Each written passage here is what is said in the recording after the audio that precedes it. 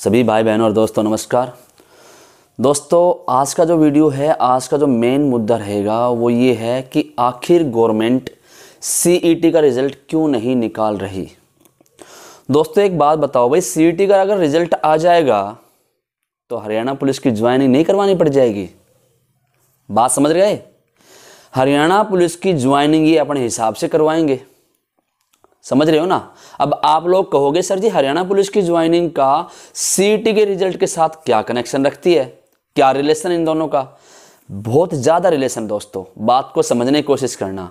Relation ये है कि सीटी में जो फॉर्मूला लगाया गया है, इक्वी परसेंटाइल नॉर्मलाइजेशन ठीक है एक्स वाई जेड परसेंटाइल वो मेथड वो सेम फॉर्मूला हरियाणा पुलिस छसठ कैंडिडेट की जो भर्ती अभी पूरी नहीं हुई है, उसमें लगाया गया है।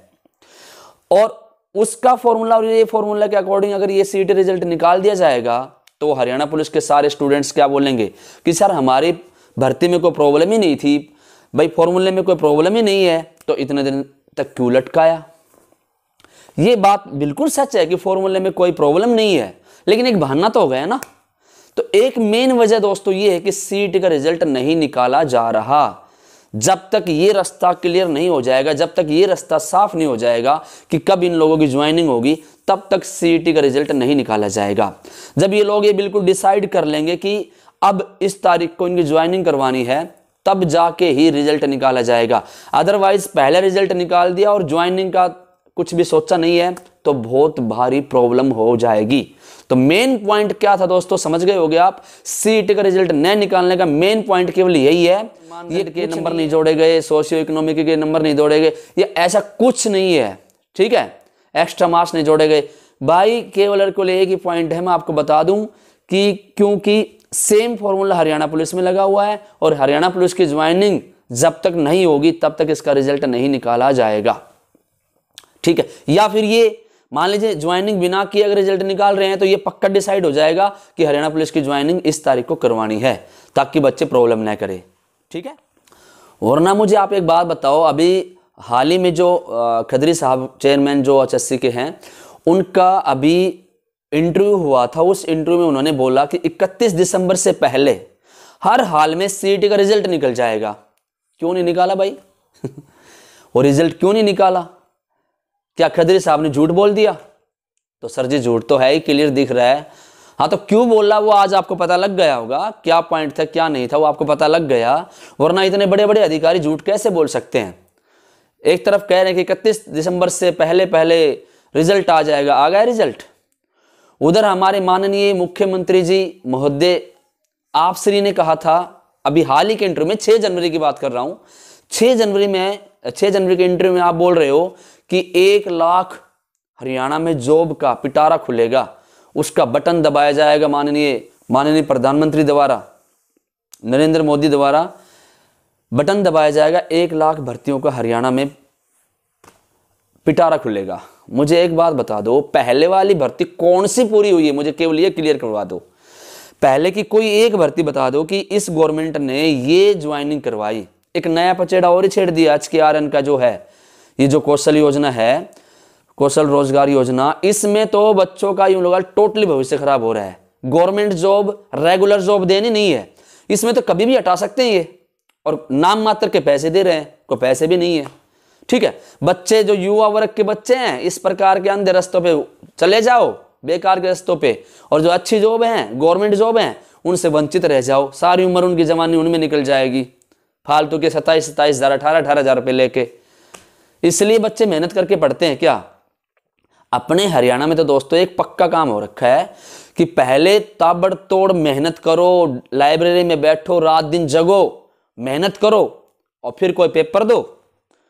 और उस पे, वो पेपर भी आसान नहीं होता बहुत मुश्किल पेपर होता है। जो हरियाणा पुलिस का ही मैं एग्जांपल ले लू कितना मुश्किल पेपर था। उस पेपर को क्लियर करो और क्लियर करने के बाद में फिर रिज़ल्ट के लिए धरने पर बैठो। ऐसे रिज़ल्ट नहीं देने वाले।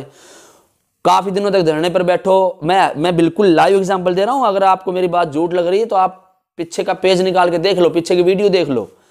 भैया, हरियाणा पुलिस का रिज़ल्ट बिना धरना बैठे नहीं आया था। ठीक है? धरने पर बैठो, फिर रिज़ल्ट आएगा। रिज़ल्ट आ गया। उसके बाद में उसमें जो फॉर्मूला लगाया गया था, उस फॉर्मूले को अभी प्रूव करवाओ कि वो सही था, गलत था। फॉर्मूला तो स्टूडेंट ने तो लगाया नहीं। गवर्नमेंट ने फॉर्मूला लगाया था। तो फिर ये पहले प्रूव करके लगाते ना।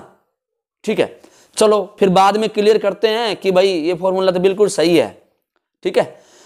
जो एजेंसी ने फॉर्मूला बनाया, उसने हर जगह फॉर्मूला पहले लगाया है, भाई एस में लगता है सेंट्रल गवर्नमेंट की जो भी जॉब है, उन सब में लगता है। बिल्कुल ठीक बात है, बिल्कुल फॉर्मूला सही है। तो फिर उसको लटकाया किस लिए जाता है? इतने दिनों तक फॉर्मूला लटका जाता है जॉब लटकी जाती है बच्चों को। बस ये बोल दो रिज़ल्ट में पास हो गए, लेकिन ज्वाइनिंग मत दो। ठीक है? ये तो ना, ये तो बिल्कुल यूँ लगा लो झूठे लॉलीपॉप दे रहे हैं, बच्चों की जवानी खराब हो रही है, बच्चों की जो उम्र है वो निकली जा रही है। ऐसे बच्चे न तो कहीं आगे की जॉब के फॉर्म भर सकते हैं और न वो मेंटली क्या है बैलेंस रह सकते हैं। आधे से ज़्यादा बच्चे पागल हो रखे हैं। मैं बिल्कुल, मैं मैं बिल्कुल प्रैक्टिकली जानता हूँ उन बच्चों को, उनके मोबाइल नंबर मेरे पास उनके गाँव मेरे याद है।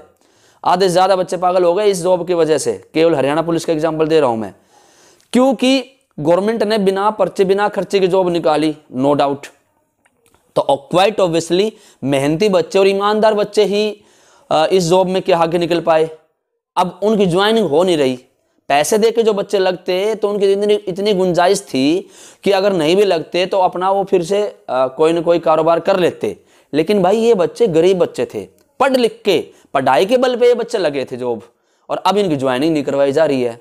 तारीख पर तारीख बढ़ाई जा रही है। हियरिंग होती नहीं है, एक भी हियरिंग नहीं हो रही है। पता नहीं क्या हो रखा भगवान जाने। ठीक है, हर बार रोस्टर बदल जाता है। दो रोस्टर बदल लिए इस भर्ती में। कमाल है यार, आई की भर्ती है, क्या है भगवान जाने। ठीक है, सबसे एक पॉइंट एक मेन और बता दूँ मैं। गवर्नमेंट ने जब सोच रखा ना, उस दिन ज्वाइनिंग होगी। ये बात सही है। लेकिन मैं आप लोगों से, प्यारे भाई बहनें जो वहाँ पर बैठे हुए हैं पंचकुला धरने पर उनसे भी मैं निवेदन करता हूँ, उठने का नाम न लें। भैया, मेहनत करते रहें। ज़रूर आपकी बिल्कुल एक दिन भगवान सुनेगा और इस रास्ते से हटना नहीं है, वहाँ बैठे रहो। ठीक है? जब तक सक्सेस नहीं मिलती है। भाई, देखिए, मुसीबतें अगर नहीं झेलोगे तो किस नाम का धरना है? भाई, बैठे रहो, ज़रूर आपको सक्सेस मिलेगी। अब दोस्तों, एक बात बताओ, सरकार का एक तरफ़ एक नारा है कि बेटी बचाओ, बेटी पढ़ाओ। कहाँ तक सच है ये? मुझे तो नहीं लगता। मुझे तो ये नारा पता नहीं क्यों ऐसे दिखने लगा कि बेटी को पढ़ाओ और नौकरी के लिए, जॉब दिलाने के लिए रोडों पर धक्के खिलाओ। ठीक है? और ये बिल्कुल सच हो रहा है। हरियाणा पुलिस की जो बहनें हैं, जो सिलेक्टेड बहनें हैं, आज पंचकुला की ठिठुरती सर्दी में, पंचकुला के रोडों पर, ठीक है? कभी खाना खाया, कभी न खाया, कभी भूखे पेट सो गई, वो बहनें आज वहाँ पर प्रोटेस्ट में बैठी हुई हैं। ये सरकार के लिए सबसे श्रम की बात है। क्या ऐसे बच्चों को न्याय नहीं मिलना चाहिए जिस भर्ती में कोई धांधली नहीं है? धांधली अगर होगी तो गवर्नमेंट की बेजती सीधी सी बात है। धांधली है नहीं। ये मैं भी मानता हूँ, धांधली नहीं है। फॉर्मूला बिल्कुल सही है। आंसर की में को गड़बड़ी नहीं। ठीक है? फिर किस नाम का क्या क्या ढकोसला रह गया फिर? उधर कह रहे हैं कि कोर्ट के अंदर, भाई जब जयश्री ठाकुर जी अपनी जज थी, उस टाइम ये बात क्लियर हो गई थी जजमेंट डेट है। और जजमेंट डेट का मतलब ये होता है कि बस अब सारी की सारी सुनवाई हो गई है अब केवल फैसला देना है। वो फैसला कहाँ गया अब? उसके बाद तो क्या है अपने दीपक मिश्रा जी थे कि पहले वाले जज के क्या थे उन, वो उन्होंने भी ये कहा कि भाई हम सुनवाई करेंगे उनका नंबर ही नहीं आया। अब नए जज आ गए। बिल्कुल समझ से बाहर हो रखा क्या करेंगे क्या नहीं करेंगे। अब कह रहे हैं सिक्स फैब की हियरिंग है। तो अर्ली हियरिंग लगवाई थी उसका क्या हुआ? कुछ नहीं हुआ। तो मैं ये कहना चाहूँगा गवर्नमेंट से और सभी भाई बहनों से भी ये बोलना चाहूँगा और जो समाज से भी जो जुड़े हुए उनसे भी बोलना चाहूँगा कि भी बात को आगे तक बढ़ाओ और इन बच्चों की ज्वाइनिंग करवाओ। दोस्तों, अगर एक आंकड़े के अनुसार मैं बात करूँ तो हरियाणा पुलिस की ज्वाइनिंग मान लीजिए आप, वैसे तो बहुत पहले होनी थी, मैं जून की बात कर लेता हूँ। हरियाणा पुलिस की ज्वाइनिंग जून में हो जानी चाहिए थी, ठीक है? जून में अगर होगी तो देखिए जून से लेकर आज तक लगभग नौ महीने हो गए, क्योंकि फैब तक ज्वाइनिंग का भी चांस नहीं है। फैब के मिड में करे, फ़र्स्ट में करे, मैं तो ये एक्सपेक्टेशन कर सकता हूँ। ठीक है? तो फैब में अगर ज्वाइनिंग होती है दोस्तों तो नौ महीने हो गए। और एक कांस्टेबल की आप मान लो पैंतीस हज़ार सैलरी है। ठीक है? छासठ सौ बच्चे हैं। छासठ छासठ सौ को पैंतीस हज़ार से मल्टीप्लाई करो, फिर नौ से मल्टीप्लाई करो। तो भाई बीस करोड़ उनासी लाख रुपए सरकार ने बचा लिए। बीस करोड़ उनासी लाख रुपए। तो काय को ज्वाइनिंग करवाएँगे? सीटी का रिज़ल्ट क्यों नहीं निकाला जा रहा? पता लग गया। ज्वाइनिंग जल्दी क्यों नहीं हो रही? दो मुद्दे हैं भाई, बिल्कुल क्लियर दिखाई दे रहे वरना भर्ती में प्रॉब्लम ही नहीं है यार। खुद चेयरमैन साहब बिल्कुल आए हैं और लाइव आके इंटरव्यू पे आते हैं और कहते कोई प्रॉब्लम नहीं है। उधर खट्टर साहब कह रहे हैं इंटरव्यू में कि कोर्ट में भर्ती गई है तो ऐसे काम क्यों करते हो कि कोर्ट में भर्ती जाए?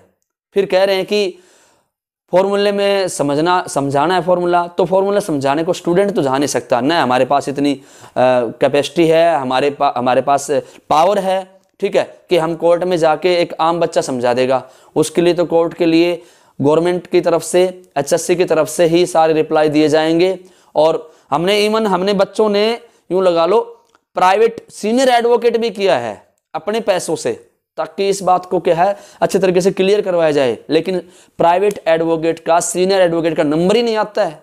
हीरिंग नहीं होती है। तो बच्चे बहुत ज़्यादा दुखी हो रखे हैं। सबर का जो यू लगा लो पेशेंस वो बिल्कुल टूट चुका है। तो दोस्तों लास्ट में यही बोलना चाहूँगा कि सरकार की मनसा बिल्कुल बिगड़ चुकी है। आप देख सकते हो कि इतने महँगे महँगे, इस महँगाई के ज़माने में इतने महँगे महँगे फॉर्म भरो। कोई फॉर्म 500 का भरा जा रहा है, कोई 300 का, कोई हज़ार का। फॉर्म भरो। कितने फॉर्म भरवा दिए हैं? ज्वाइनिंग एक की निकलवानी है। एक भी भर्ती पूरी नहीं हुई है। ठीक है? अभी खट्टर साहब ने वादा किया था कि और नए हरियाणा पुलिस की वैकेंसी निकाली जाएँगी। भैया, पहले वाली पूरी नहीं हुई है नई कहाँ निकालोगे? ऐसे टीचर लाइन में है, नेट, टीचिंग लाइन के अंदर भी कोई भी अब तक टीजीटी वाले वो घसड़ते जा रहे हैं। पीजीटी के हैं, उनका फॉर्मूला पता नहीं क्या सिस्टम बना दिया। ठीक है? एक नए नए सिस्टम, लॉलीपॉप दिया जा रहा है क्या? रोज़गार कौशल योजना। ठीक है? उसमें जाओ अठारह अठारह हज़ार रुपये ले सी एम बच्चे जो। अद्य भाई। दोस्तों लास्ट में इस वीडियो के थ्रू मैं आप लोगों को बोलना चाहूँगा कि आप लोग डट के और रुक के मुसीबतों का सामना करो और बिल्कुल प्रोटेस्ट करो, क्योंकि आपका जो प्रोटेस्ट है बिल्कुल शांतिपूर्ण और अनुशासन सहित हो रहा है तो इसमें कोई प्रॉब्लम भी नहीं है। आप लोग वहाँ पर बैठे रहो, उठना मत। और रही बात सीईटी का रिज़ल्ट क्यों नहीं आ रहा? ये मैं बात बिल्कुल क्लियर कर चुका हूँ। सीईटी का रिज़ल्ट नहीं आने का केवल एक ही कारण है, क्योंकि फॉर्मूला है, वो सेम फॉर्मूला है। हरियाणा पुलिस में जो लगाया गया है, वही फॉर्मूला क्या है? सीईटी में लगाया गया है। अगर सीईटी का रिज़ल्ट निकाल दिया गया तो हरियाणा पुलिस की ज्वाइनिंग भी करवानी पड़ेगी। अब ये मुझे नहीं पता कि हरियाणा पुलिस की ज्वाइनिंग क्यों नहीं करवाई जा रही, कब करवाई जाएगी। जिस दिन इनको लगेगा कि इस दिन हरियाणा पुलिस की ज्वाइनिंग करवानी है, उस दिन सीईटी का रिज़ल्ट भी आ जाएगा। ठीक है दोस्तों, नमस्कार, जय हिंद, जय भारत।